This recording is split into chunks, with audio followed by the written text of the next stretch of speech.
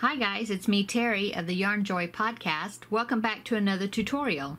This was going to be part three of the baby educational ball toy. This is a pattern by Patricia Heller. Thank you Patricia for giving me permission to do a tutorial on your awesome pattern. Okay, so for today's tutorial. I'm going to do the sun. It's just the next one that's in the pattern. I'm just kind of going in order with the pattern. And I'm going to be using this panel with the blue background, okay? And all we need for the sun, it's going to have some pullable strings on it. And I'm going to use the yellow that I used for one of my panels. This, I'm, I'm using uh, a DK weight yarn. This is actually a Lion Brand Bon Bon is what this is. But I'm going to be using that uh, for my sun. But then I'm thinking for the pullable strings that's going to be coming, that are going to be like behind the sun, I'm going to use this worsted weight bright yellow. I think it's uh, Red Heart. I can't remember the, the color of it, but it's just a bright yellow. I'm going to be using that because the pull strings will end up being a little thicker and um, easier, I think, for baby to grab a hold of, I think, maybe. Anyway, that's what, that's the, my plan.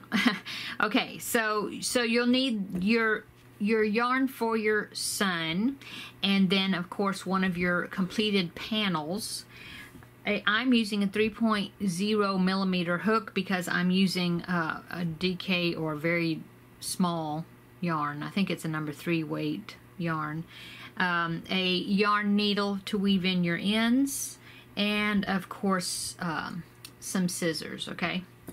Okay, and I think that is it, so let's just get started with it. Okay, so this should be a pretty quick pattern. There's, uh, let's see, there's seven rounds and we're going to start off with a magic ring. You could also chain two and then work in the second chain from the hook uh, and, and do it that way if you want to. But we're going to be putting six single crochets into that magic ring for our first round. Okay. So, let's move this out of the way. Six single crochets. One, two, three, four,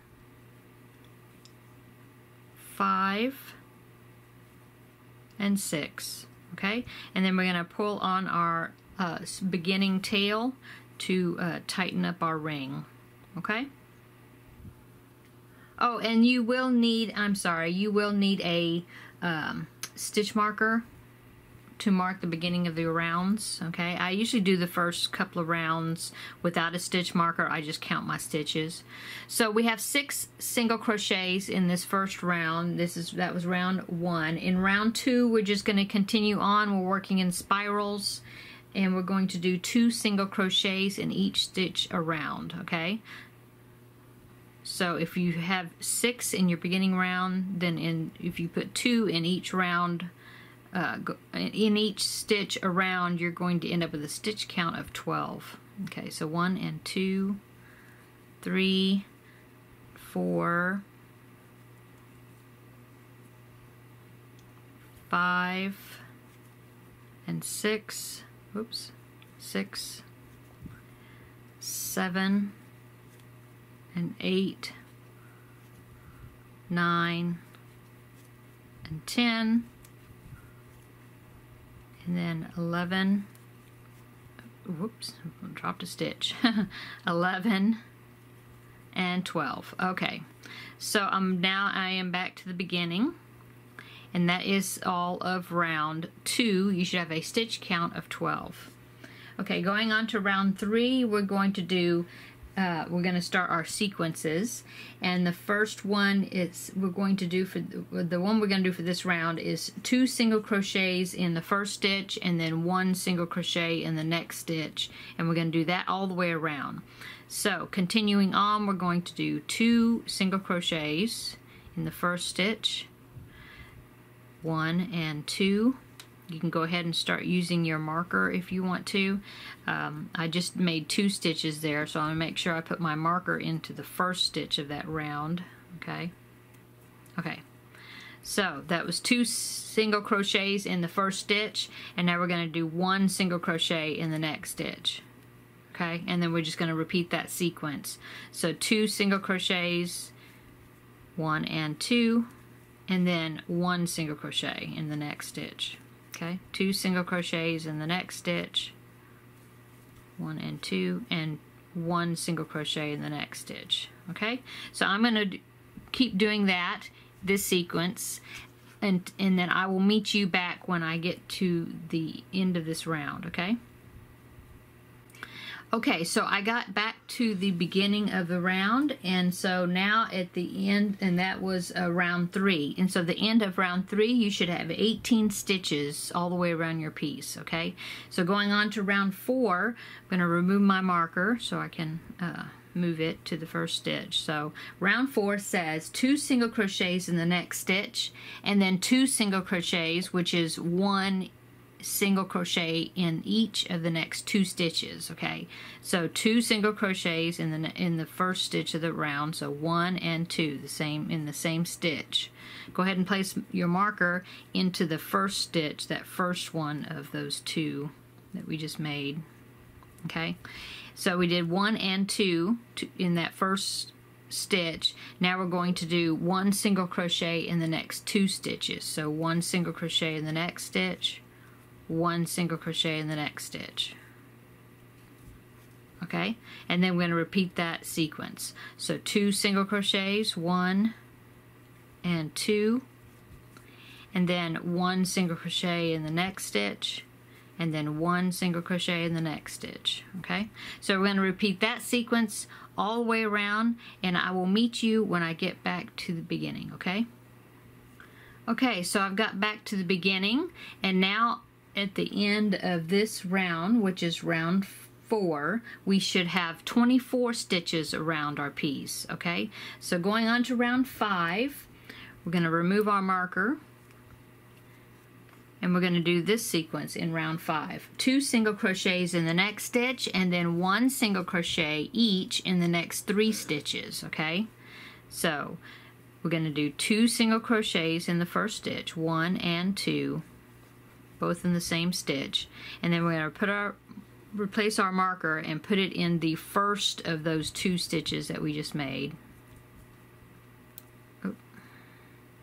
Okay, so we did two stitches in that first stitch and then we're going to do one single crochet in the next stitch, one single crochet in the next stitch, and then one single crochet in the next stitch for a total of three stitches. We did that three times, okay? And then we're going to repeat that sequence around. So two single crochets in the next stitch, one and two, and then, whoops, split a stitch there. do that one again. so we did two single crochets. So that's the first one let me get my second one in there. Okay one and two. Okay and then we're going to do one single crochet in the next three stitches. So one in this next stitch one in the next stitch and then one in the next stitch. So three times. Okay so now we're going to repeat that sequence all the way around and I will meet you when we get at the end Okay, so I'm at the end of round five. I got back to the beginning, and now we should have a stitch count of 30 stitches all the way around. Okay, going on to the next round, which is round six.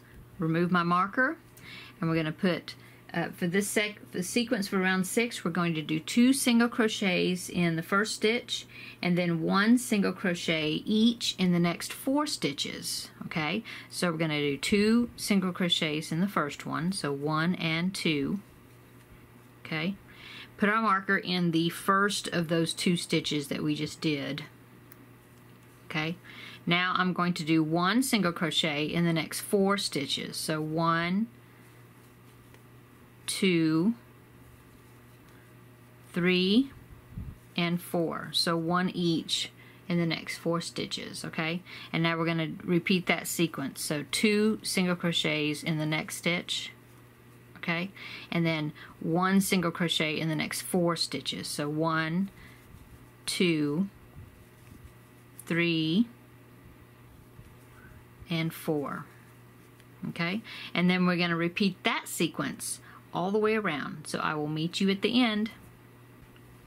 Okay, so I just finished round six. We should now have a stitch count of 36 stitches all the way around.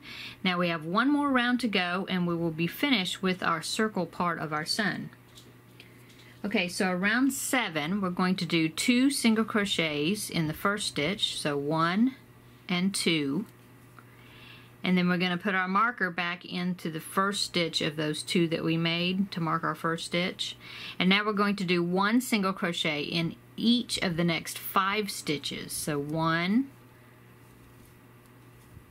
two three four and five okay? And then repeating our sequence we're going to do two single crochets in the first the next stitch one and two and then we're going to do one single crochet in the next five stitches. So that was one two three four five okay? And then we're going to repeat that sequence. Once again we're going to repeat that sequence all the way around and I will meet you at the end okay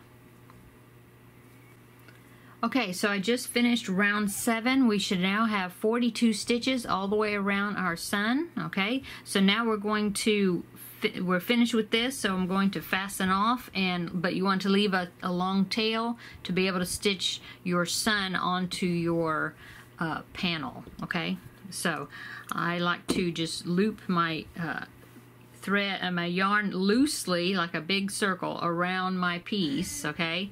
And then give me a few couple of more inches there and then cut it off okay? Now I'm going to take my marker out.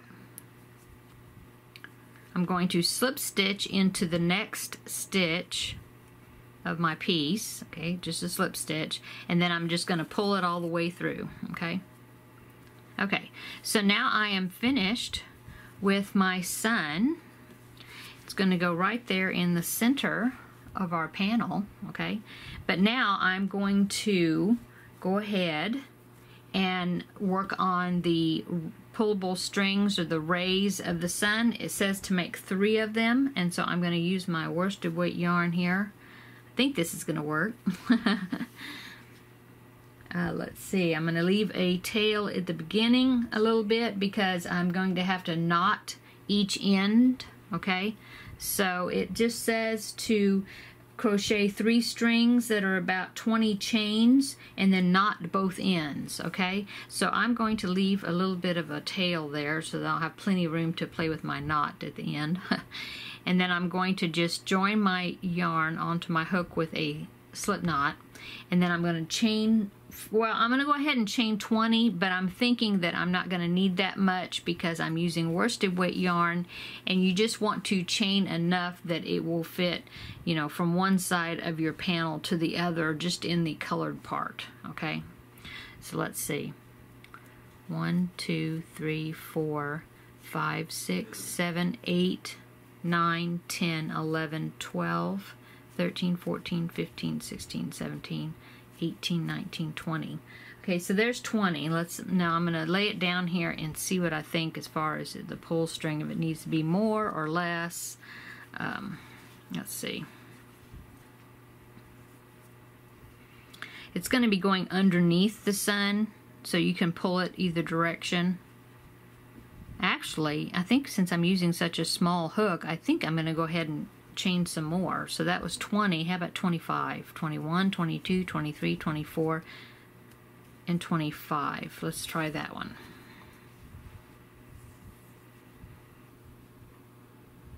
Now that is a little bit long, looks like, so I'm going to take out a couple. Let's see, one, two, three. So that would end up me chaining 22. Let's see if that looks right. So anyway, you just kind of measured up to your panel and see if it's long enough that you'll have enough uh, some string hanging I think that'll be okay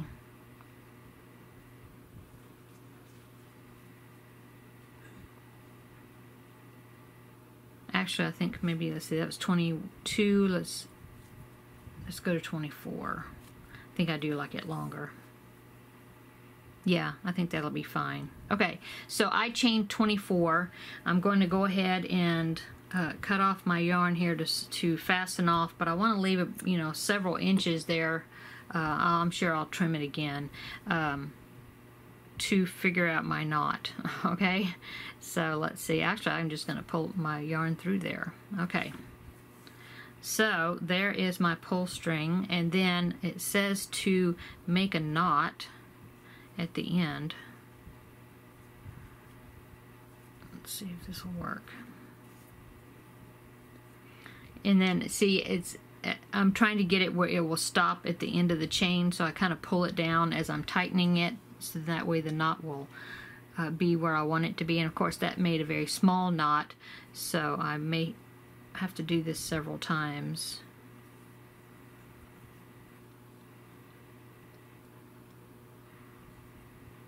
Just pull it down where it'll be on top of that, the last knot that you made.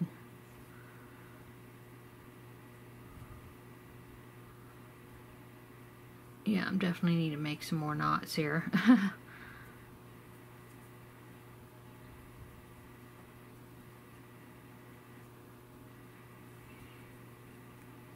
just while it's still loose just pull it down over the top of of your knot so that way when it knots up firmly it'll be on where you it'll be where you're wanting it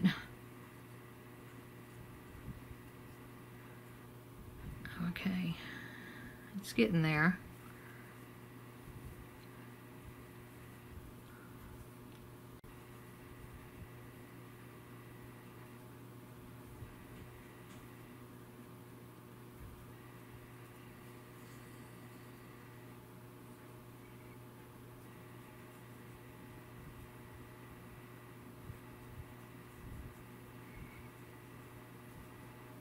like you have to make several of them to make it big enough. Probably an easier way to make a knot.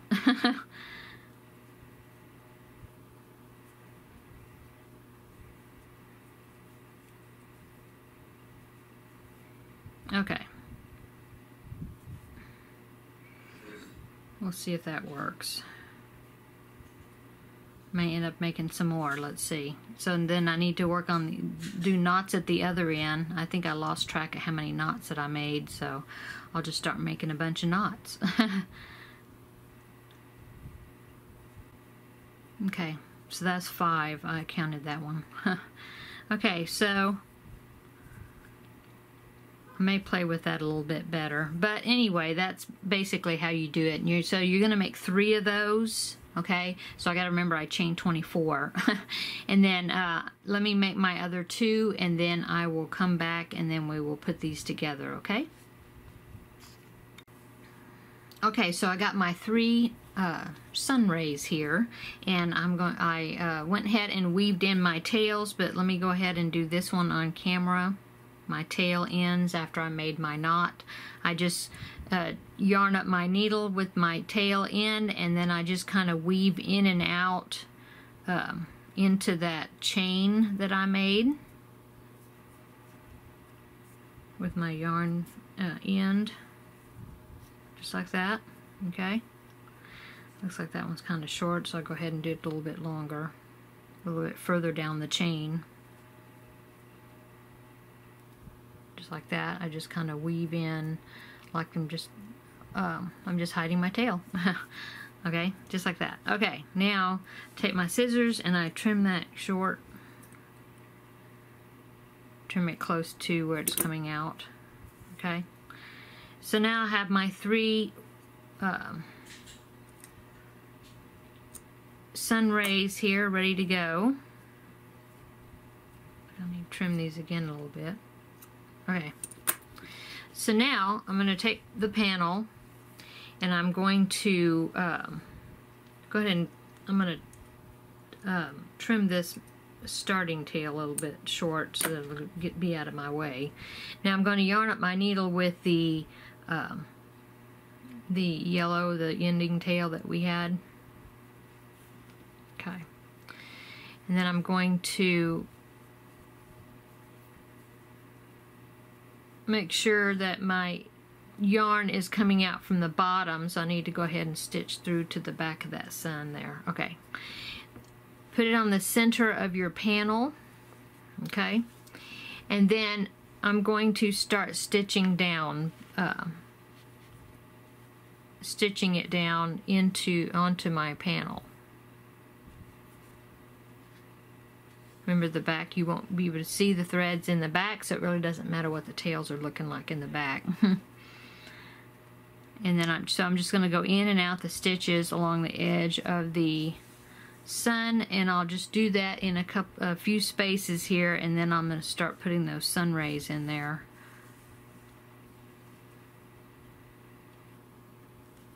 Okay. Okay. So now the sun rays are going to go underneath the sun going from different, uh, you know, like three different directions, so like a cross, okay? And so you're wanting to sew, you're going to want to sew on either side of that string, but you want the string to remain, um, you know, you don't want to catch those when you're, when you're, um, when you're making your, uh, when you're stitching over it. I'm wondering if that knot is going to be big enough that it won't pull through. I hope not. um, but anyway, that's that's what you're aiming on doing. So you could actually, if you have some pins, you could pin pin them in there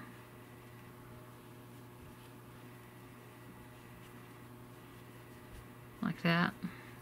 And then I have one more I need to put on there under there somewhere. Let's see.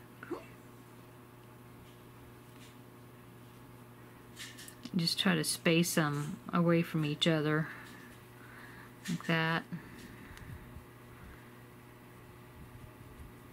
Yeah, something like that. And then I do have some pins here within reach. I could go ahead, you could go ahead and pin down through those to kind of hold them in place like that okay? And then you start you continue your stitching around but you want to make sure that you stitch over these and not through those rays. Actually you could do it from behind. So I go down into my stitch to the back side through the panel okay? And then when I come up I'm going to come up on the other side of that sun ray just make sure that you do not stitch through it, that it's still free to move uh, one way or the other. Um, back and uh, you know in and uh, in and out slide it. Can still slide it that's the word. Okay and then so all I'm going to continue on around my sun stitching them down and then when I get to the next sun ray I'm, I'm going to do the same thing. I go around the back side see how I had that longer stitch right there uh, around the back side of where the ray is. Just make sure that you don't catch it with your needle um, in your stitches.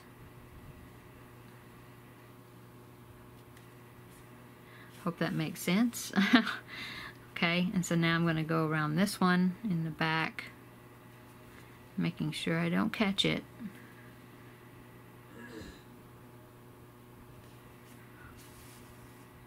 Okay, just like that. And then once you get the three ends secured on one side, you could probably take the pin out. Um,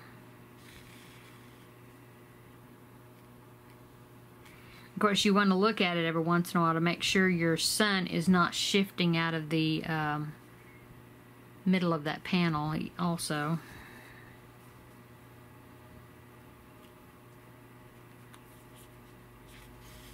Okay, so now I've come to the third one. I'm going to go around the back side, making sure that I do not uh, stitch into that sun ray.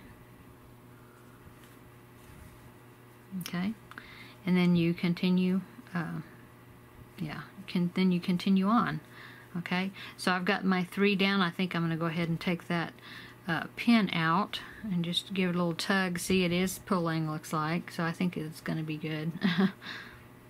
It's yeah. All three of them are sliding so that's good. Okay so I'm going to continue doing that and I will meet you up when I get to the, the uh, back to the beginning, okay? Okay, so I finished stitching around my sun, getting it onto the panel, and I've got the rays there. And they will pull, it, I, I can pull them freely from, you know, from in and out, so I know that they're not, I didn't catch them when I'm, I sewed them down. Okay, so now all I'm going to do is I already took my yarn needle off my yarn end here, and I'm just going to tie uh, tie a knot it to one of the tails that were back here in the back here already and then trim it off short. Like I said all of this will be hidden inside the ball when we're stuffing him so okay? So there is panel number two of our baby educational ball. so I hope you enjoyed this tutorial and uh, crocheting or along with me and stay tuned for panel number three in just a few days. Thanks guys. Have a great weekend and we will see you in the next video. Bye.